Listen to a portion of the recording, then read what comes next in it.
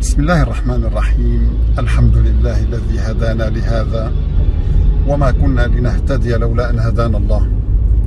وصلى الله على حبيبنا محمد النبي الأمي وعلى آله وأصحابه وسلم تسليما كثيرا. أحبتي في الله أحببت أن أتحدث معكم حول موضوع يهم كل واحد منا.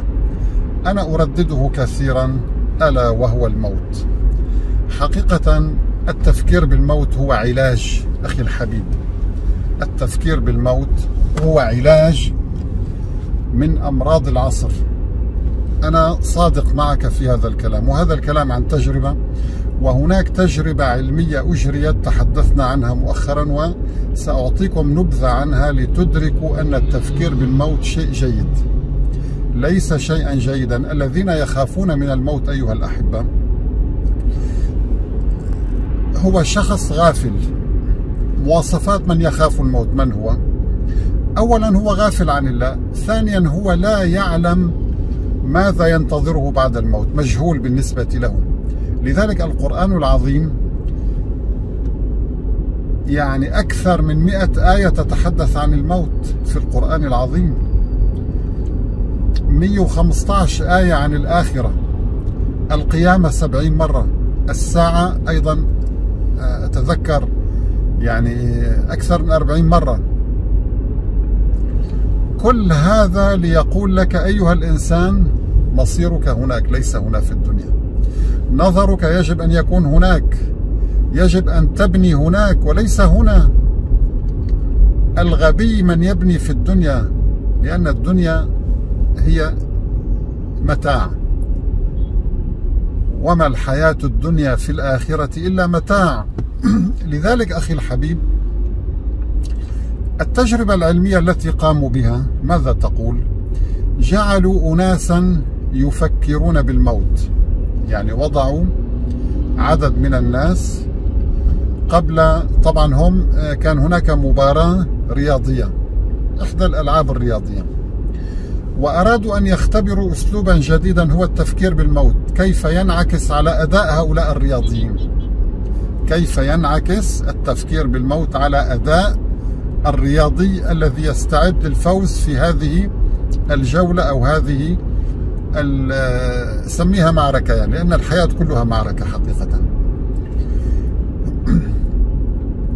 فطلبوا من المشاركين أن يجلسوا ويتخيل كل واحد منهم أن آخر عمل سيقوم به هو هذه المباراة. وبعد ذلك سيموت. فبدأ كل واحد يفكر أنا ماذا سأفعل؟ كيف سيكون أدائي؟ ما هي مشاكلي؟ ما هي مواعيدي؟ ارتباطاتي؟ بدأ يلغي يلغي يلغي هذه الأمور لأنها كلها ستدمر بعد الموت. يعني الإنسان الذي لديه ألف موعد. هل ينتظره الموت؟ لا. الإنسان الذي لديه مشاغل كثيرة وجدول مواعيد ومهام سيقوم بها غدا سيرى فلان سيتابع تجارته سيشتري صفقة سينجز امتحان دراسي سيفعل. الموت لا ينتظر أخي الحبيب. الموت يأتي بغتة والعذاب يأتي بغتة والساعة تأتي بغتة أي فجأة.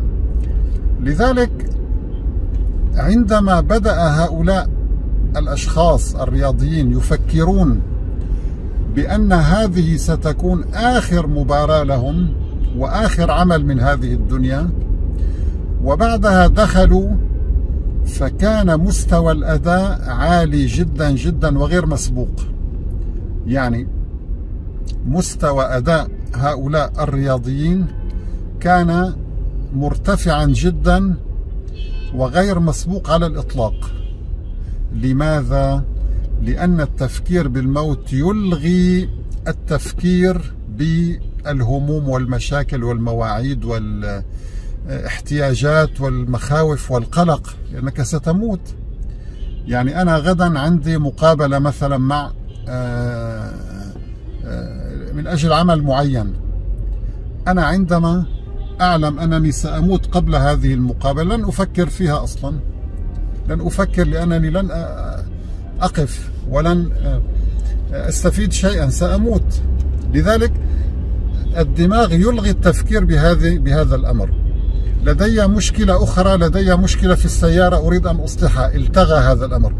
يبدأ الدماغ يلغي يلغي يلغي حتى يبقى عمل واحد. فيتفرغ الدماغ كاملا وخلايا الدماغ كاملة تتفرغ لهذا العمل. فتنجز هذا العمل بشكل رائع جدا وعالي جدا. لذلك القاعدة العلمية تقول وهذه التجربة لم يجرها مسلمون الذي أجراها هم أناس غير مسلمين على فكرة. القاعدة العلمية تقول أنك إذا أردت أن تبدع في عمل ما وتكون سعيدا فكر بالموت واعتبر أن هذا آخر عمل لك. النبي عليه الصلاة والسلام هنا ندرك. هنا أخي الحبيب انتبه معي. ندرك لماذا حبيبنا عليه الصلاة والسلام كان إذا وقف للصلاة يفعل نفس الشيء؟ يفكر أن هذه الصلاة هي آخر صلاة سيصليها من هذه الدنيا فتجد قمة الخشوع قمة التدبر وقمة الاستفادة أيضا. لذلك النبي أمرنا قال صلي صلاة مودع. مودع لماذا؟ مودع للدنيا. صلي صلاة مودع. لذلك جرب أخي الحبيب أنك عندما تريد أن تصلي أن تصلي صلاة مودع. أن تصلي صلاة إنسان يودع الدنيا. آخر عمل من حياته هو هذه الصلاة. فستجد قلبك متفرغا للصلاة. ستجد لذة عظيمة. ولكن نحن نتميز بفضل الله نحن المسلمين. نتميز عن الملحدين والعلمانيين وغير المسلمين من الديانات الأخرى أن الرؤية واضحة لدينا بعد الموت. الرؤية لديهم غير واضحة. الملحد ليس لديه رؤية لما بعد الموت. يعني الملحد يعتبر أن الإنسان سيتحول إلى آه، إلى تراب. وبالتالي هو لن يعني آه، سيخاف مما بعد الموت لأن الموت مجهول. بقية الديانات أيضا مجهول الموت. يعني آه، مثلا أنا اطلعت على ما يسمى بالكتاب المقدس فوجدت أنه لا توجد أي إشارات لأوصاف ما بعد الموت إلا قليلا جدا وغير واضحة. بينما القرآن مليء مليء. أينما تكونوا يدرككم الموت ولو كنتم في بروج مشيدة. ولو ترى إذ الظالمون في غمرات الموت والملائكة باسطوا أيديهم. أخرجوا أنفسكم اليوم تجزون عذاب الهون بما كنتم تقولون على الله غير الحق وكنتم عن آياته تستكبرون آية شديدة الوضوح تصور لنا ما يجري لحظة. وجاءت سكرة الموت بالحق ذلك ما كنت منه تحيد آيات كثيرة أحبتي في الله تتحدث عن الموت ولحظة الموت وعالم البرزخ حتى إذا جاء أحدهم الموت قال رب ارجعوني لعلي أعمل صالحا فيما تركت. قل كلا يأتيه هو يقول يا رب ارجعوني.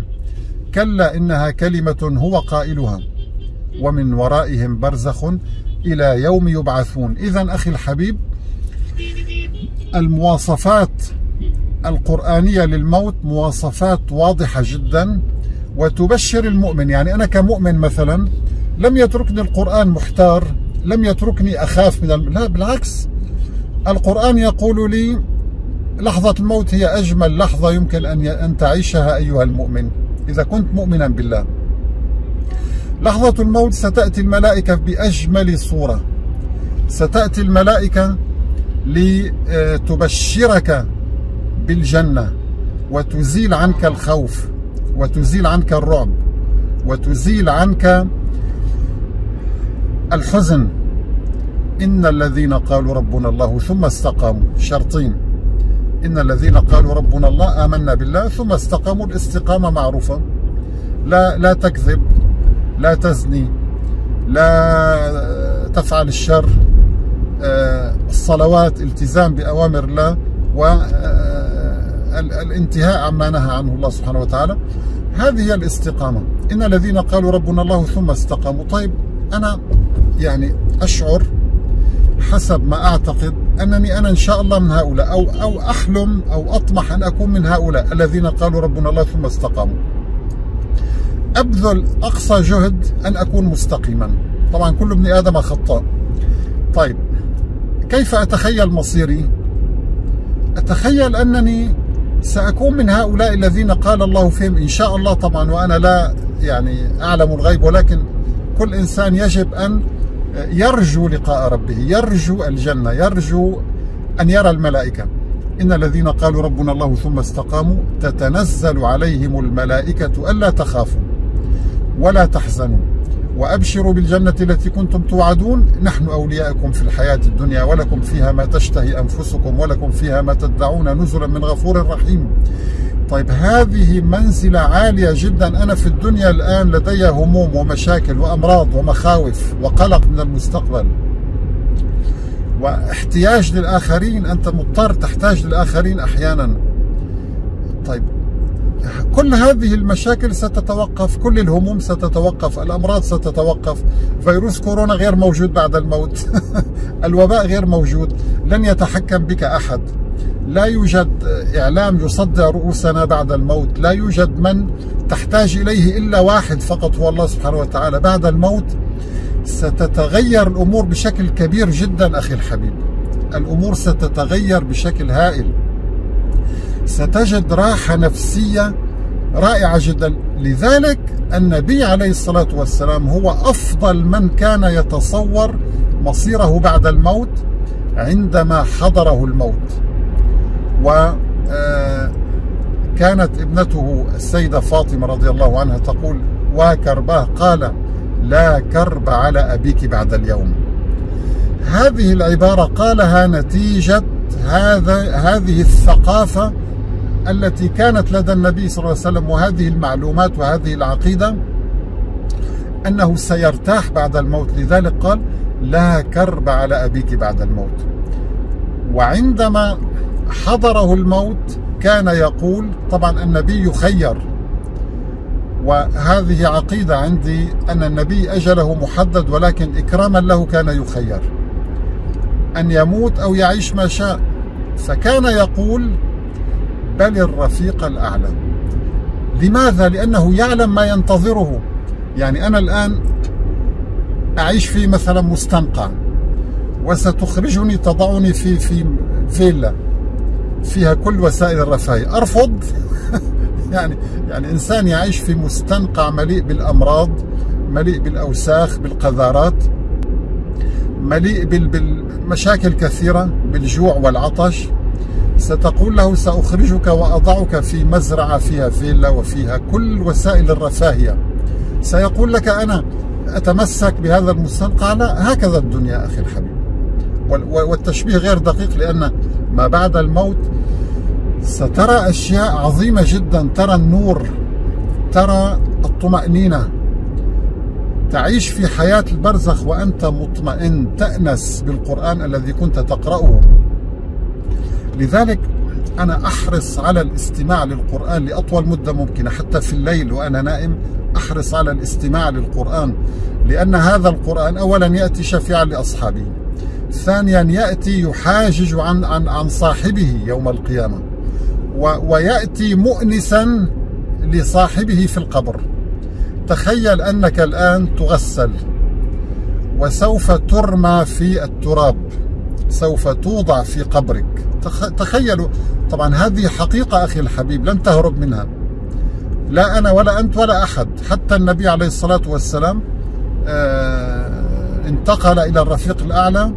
ودفن صلى الله عليه وسلم وكل آه، نفس ذائقة الموت. إنك ميت وإنهم ميتون. تخيل أنك الآن تغسل وستوضع عاريا عاريا فقط عبارة عن قطعة قماش هي الكفن ستلف بها وتوضع في باطن الأرض ويرد فوقك التراب. والميت يسمع أخي الحبيب. ثبت علميا الدكتور سام بارني تحدثنا عنه أثبت بأن الميت يسمع ويرى. مركز الإبصار يتفاعل مع أشياء هم يجهلونها طبعا.